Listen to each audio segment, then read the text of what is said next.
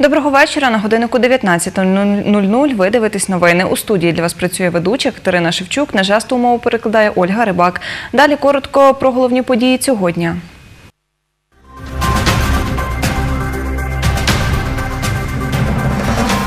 Представники профспілок Хмельниччини пікетували на Майдані Незалежності в обласному центрі. Що вимагали під час акції?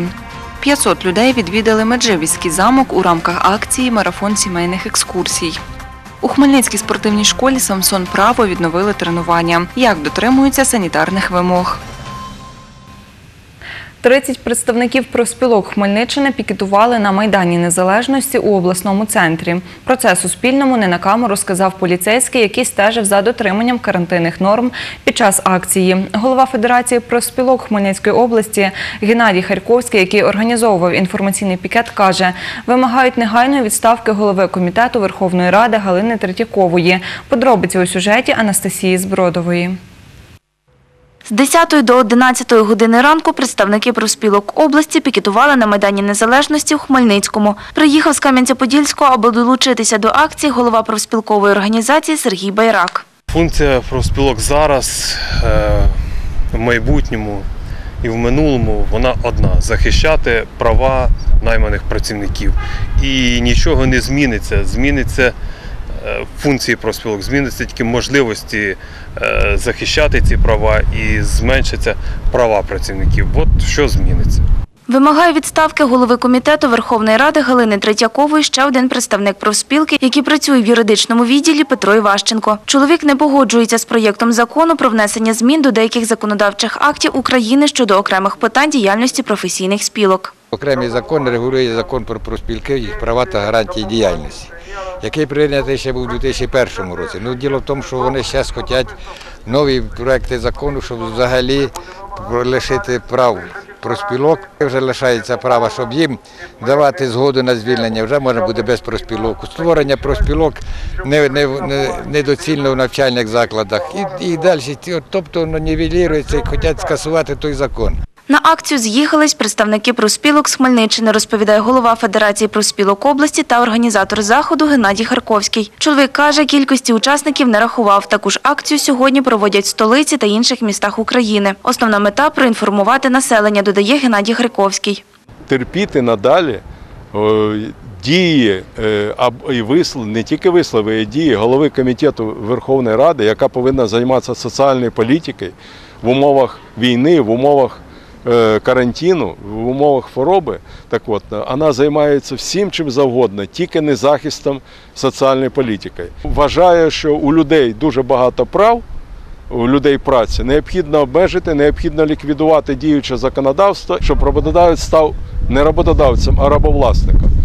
За словами правоохоронців, зібралось 30 учасників пікету. Вони карантинних вимог не порушували, дотримувались соціальної дистанції та були в захисних масках. Анастасія Збродова, Віктор Кривий. Новини на Суспільному. Хмельницький.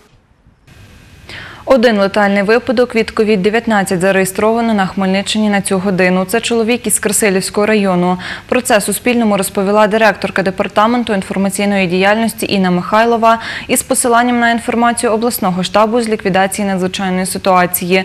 Всього в області зафіксовано 806 підтверджених випадків COVID-19. Одужали 543 жителі Хмельниччини. Від початку пандемії в області зареєстровано 18 летальних випадків.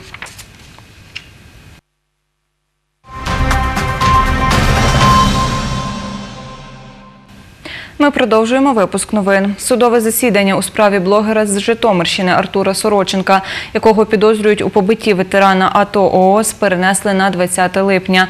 Таке рішення ухвалив суддя міськрайонного суду Олександр Трембач. Адвокат підозрюваного Анатолій Стасишин каже, що батько Артура Сороченко передав довідку, що його підзахисний перебуває на амбулаторному лікуванні у Бердичівській міській лікарні. Анатолій Стасишин додає, з підозрюваним востаннє говорив телефоном у травні. Яким чином передали вам цю довідку? Це батько його прислав. Батько надіслав. Так. Пояснив щось при цьому, чи якісь пояснення були відсутні. він сказав, що син продовжує хворіти. І все. Да? Виходячи з цієї довідки, він лікується амбулаторно. Так. Тобто його відвідування медичного закладу не є стаціонарним, він постійно там не перебуває. Бачите, Він тільки... да, я зрозумів. Я наскільки мені А отже, він може і відвідувати судові засідання. Ваша ну все в зв'язку з тим, що все-таки суд не в Хмельницькому, верніше він проживає не в Хмельницькому, а суд розглядає справи в місті Хмельницькому. Можливо, це зв'язано з якимось переїздом, з якими е, труднощами. Мені про це не відомо. Я лише знаю про те, що якось із довідки, що він продовжує лікувати. Узгоджується дата судового засідання 20 липня 16 години. Нагадаю, влітку минулого року у соціальних мережах оприлюднили відео, де блогер Артур Сороченко під час суперечки із ветераном АТО ООС Володимиром Баулою стосовно російсько-української війни б'є останнього в обличчя. Суд видав постанову заарештувати Сороченка. Йому інкримінують хуліганство. 18 серпня 2019 року його заарештували у Миколаєві. Рішенням Хмельницького міськрайонного суду чоловіка взяли під варту з можливістю внести заставу у розмірі 40 тисяч 140 гривень. Артур Сороченко вніс заставу. Підозрюваний востаннє з'явився у Хмельницькому міськрайонному суді 15 листопада 2019 року. 500 людей відвідали Меджибіський замок у рамках акції Марафон сімейних екскурсій. Про це розповів директор Державного історико-культурного заповідника Межибіж Олег Погорілець. Діти до 14 років відвідували замок безкоштовно. Подробиці далі у сюжеті. Бойове приміщення. Бачите, от збереглася бійниця, ще одна була бійниця, вона закладена. За словами Олега Погорільця, підземелля палацу Синявських чорторийських складається з восьми кімнат загальною площею 800 метрів квадратних. Що стосується е, підземелля, це палац, палац Синявських Чарторийських, побудований 1550 роки. Точного року ми не знаємо. Має два наземних поверхи, один підземний поверх. Товщина стін 2 метри. Що характерно для підземного поверху? Він пішов в глибину більше як на 5 метрів, і підземний він з подвір'я, з середини, а звідти від дороги там просто оборонна стіна. Тобто підземним він став тоді, коли відбулася забутовка. За словами Сергія Войтко, ще до магнатів Синявських племінники великого литовського князя Ольгерда, князі Кореватовичі, котрим він подарував ці землі, побудували тут фортецю. І тут е, були бойові, частково житлові приміщення, а за Синявських вони перебудовуються під палац і під флігель. Отже, підземний поверх палацу це ще литовський, це 14 століття. Хоч він зазнавав змін і під час е, того, коли цими територіями володіли Синявські, і тоді, коли в 18 столітті володіли Чарторийські. Часто із сім'єю подорожує замками Західної України тернополянка Руслана. У Меджибужі є на що подивитися, додає жінка. Приїхала на екскурсію з чоловіком та сином. Дуже любимо подорожувати замками України. Е, Об'їздили всі західні е, пам'ятки, такі визначні культури. Тепер приїхали в Междебіж. Враження від підземелля хороші, такі як в інших замках. Е, Більші, звичайно, ніж, наприклад, в Збаразькому замку, якщо порівняти, але є своя родзинка. Хмельничанин Олександр на екскурсію до Меджибузької фортеці приїхав із дружиною та дітьми. Каже, сподобався краєвид, що відкривається з лицарської вежі. Планували поїздку вже давно.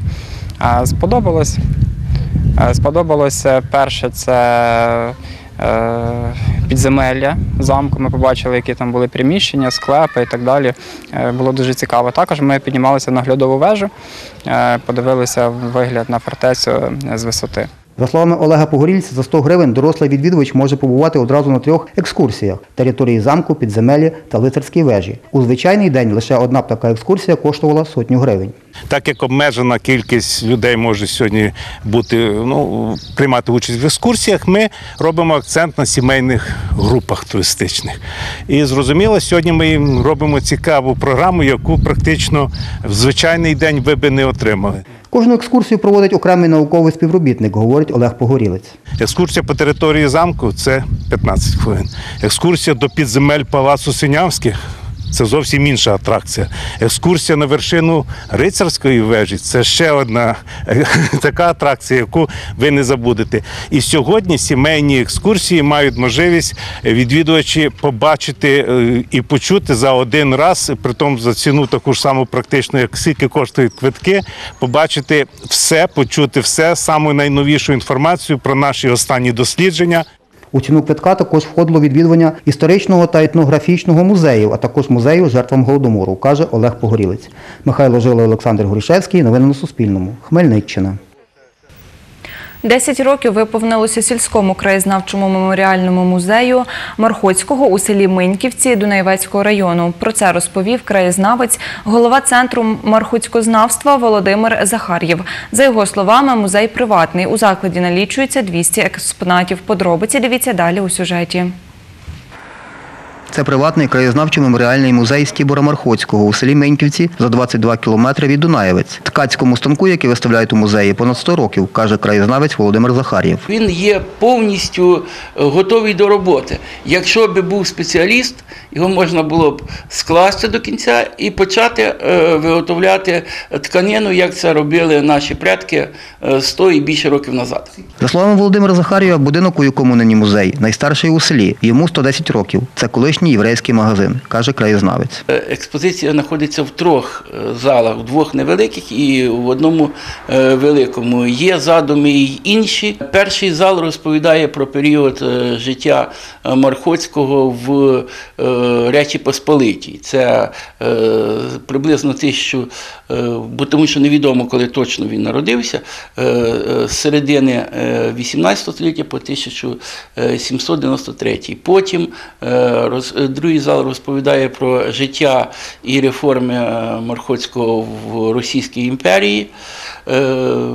А тобто з 1793 по 1827, коли він помер. Іноді люди самі приносять експонати, каже доглядач музею Владислав Сирота. Експонати приймають, таке екскурсії привожу з Києва приїжджали теж вечором, теж мусив відкрити, подивитися. Вони інтересуються людиною, бо їх як турист приїжджали, дивилися. Знає про музей жителька села Меньківці Ганна Гуменюк. Водять туди дітей. Дітки дивляться, вони маленькі, що перший, другий, третій клас. Їм інтересно, старінне все там. У підвалах нинішнього музею у 30-х роках минулого століття тут була більшовицька в'язниця, розповідає Володимир Захар'єв. Ігнацій Мархоцький, поміщик, котрий перший на Поділі у 1804 році відмінив кріпосне право, додає чоловік. Михайло Жила, Віктор Кривий. Новини на Суспільному. Хмельниччина.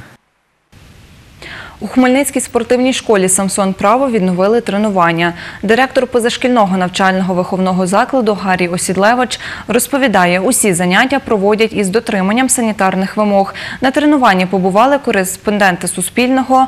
Аби пересвідчитися у цьому, Світлана Поробок розкаже більше. На вхідних дверях Хмельницької спортивної школи Самсон Право немає ручок. Їх зняли, щоб в приміщення не заходили випадкові відвідувачі. Спортсменів пускають після комунікації домофоном із тренерами. Добрий день, телебачення. Можна до вас?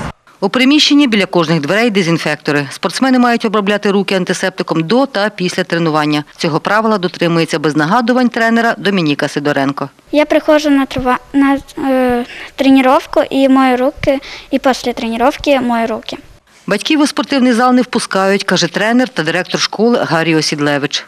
У нас такий військовий режим, тобто батьки, батькам не дозволяється приходити в спортивний зал. Батьки з розумінням підходять до цього. Під час тренування, каже Гаррій Осідлевич, в приміщенні всієї школи перебуває не більше 10 осіб, тому довелося збільшити кількість занять, щоб зі 150 вихованців школи охочі тренуватися під час карантину могли приходити на заняття. З ранку і до пізнього вечора по 10 чоловік е, ми працюємо. Тобто дуже велике навантаження на нас. Тренер з фітнес-джампінгу Марина Самсонова розповідає, в неї тренування також відновилися і відбуваються через день. Дівчатка поновили свої заняття з фітнес-джампінгу.